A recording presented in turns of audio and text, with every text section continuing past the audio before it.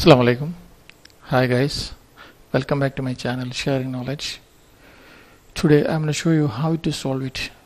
Folder cannot open with double click. Sometimes having a problem is error this error. Folder cannot open with double click. Don't worry about that. You can solve it easily. Just follow these steps. Okay, carefully. Read these instructions. Okay, just you check the error. You see this double click cannot open. Error. Okay. Then you read these instructions. First of all you go to start menu and click run and type register edit. Okay. Now okay register edit. Type is short form reg- register edit it means reg edit type this here. Then you will get the option.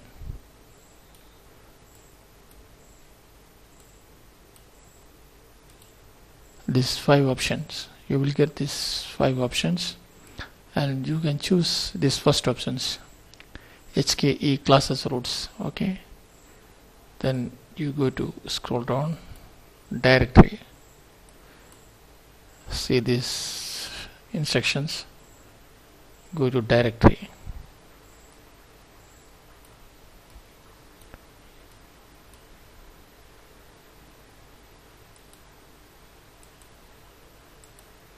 Yes this directory. And choose this shell. Click on shell. Double click here click on default.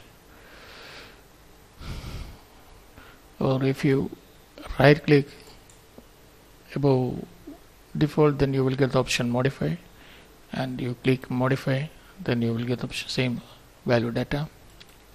You type there is in oh in, in non. Okay. And click ok and after you go back return see these injections okay. Exit all windows and click refresh.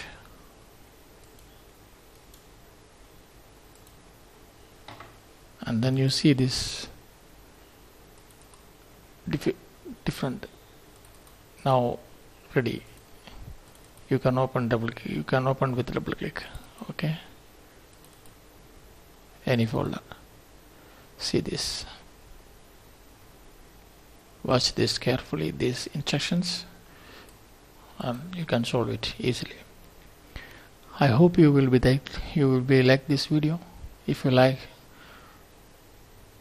please share with your friends and subscribe and subscribe, subscribe my channel. Once again thanks for watching. See you next video. Bye take care